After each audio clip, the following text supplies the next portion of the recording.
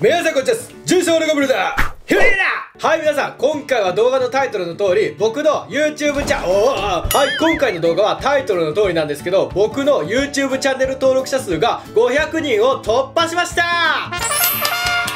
はい、皆さん、いつも私を応援してくれてありがとうございます。いや、もう僕もチャンネル登録者数500人をやっと超えられました。えっと、YouTube 始めて4年と半年かかりました。前の動画でも言った通り、動画投稿の再開は9月頃を予定してますので、ぜひ楽しみにお待ちください。あ、あとそれと実は皆さんに一つお詫びがございます。実は僕が2級建築士の学科の点数公表した際に、あの、計算間違えてました。僕は合計77点取りましたって言ってたんですけど、ど、実は正確な点数は67点でした。いや、もう本当にすいませんでした。いや、もう僕もあの時もめちゃくちゃ興奮してたので、あの、ちょっと計算がちょっとどえらいことになってしまって、あの、本当びっくりしました。まあでも67点だったんですけど、まあそれぞれ15点超えてたので、まああの、いいとしましょう。はい。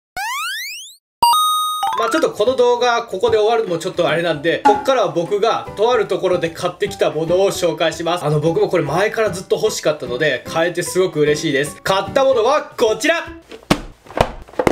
はい、こちら、僕は先日、IKEA に行ってきて、IKEA とレゴのコラボ商品を全部買いましたあの、ちなみにこれ全部で、えー、っと、8000ちょっとかかりました。これについてはまた動画にしますので、楽しみにお待ちください。あ、それと、あと一つあって、それは何なのかというと、僕の親が2級建築士の学科試験の合格祝いに買ってくれたものです。それがこちら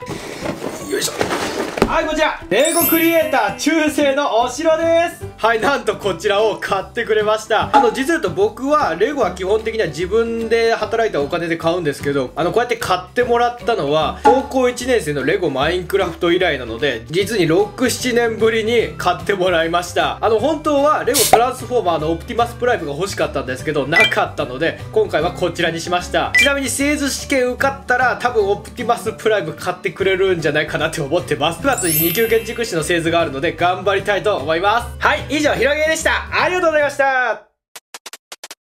はい、動画を最後まで見てくれてありがとうございます。僕のチャンネルに登録していただくと、最新の動画がいち早く見れます。チャンネル登録や熱い高評価、どうぞよろしくお願いします。それでは次の動画でお会いしましょう。ほななイェーイ